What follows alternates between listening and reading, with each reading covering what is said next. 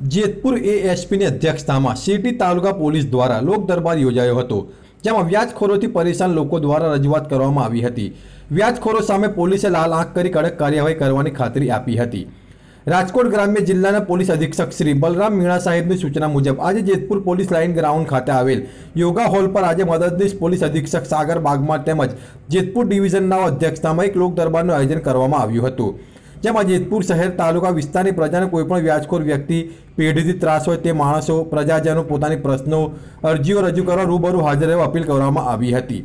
જે અનુસંધાને સમાજના આગેવાનો તેમજ જાગૃત નાગરિકોએ પોલીસને આ બાબતે માહિતીઓ તેમજ સૂચનાઓ આપી હતી. અને પોલીસની મદદ રહેવા તેમજ ગરીબ મજબૂર લોકોને વ્યાજખોરીથી બચાવવા પૂરતો સહકાર આપવા બાહેદારી આપી હતી. સમાજમાંથી આ વ્યાજખોરીનું દૂષણ દૂર થઈ શકે. તેથી આ લોક દરબારમાં આવા કોઈ ગેરકાનૂની, નાણાં ધિરણનો ધંધો કરનાર પેઢી, વ્યક્તિ વ્યાજના ચક્કરમાં કોઈ પણ પ્રજાજન ફસાઈ ગયેલ હોય, તો રૂબરૂ અથવા ટેલિફોન દ્વારા કોઈ પણ અધિકારી અથવા પોલીસ સ્ટેશનનો સંપર્ક કરવા સૂચવ્યું હતું.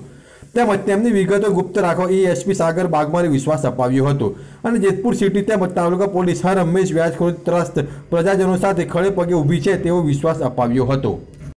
આજે અહીંયા જેતપુર સિટીમાં જુનાગઢ જેતપુર સિટી અને જેતપુર તાલુકાના વિસ્તારમાં જો લોકો છે જેમને માટે કોઈ વ્યાજખોરોનો ત્રાસ છે, એને માટે લોક દરબારનું આયોજન આ લોક દરબારમાં જો છે લગભગ પચાસ સાઠ માણસોનો જો છે અહીંયા યોજા, બેઠક હતી.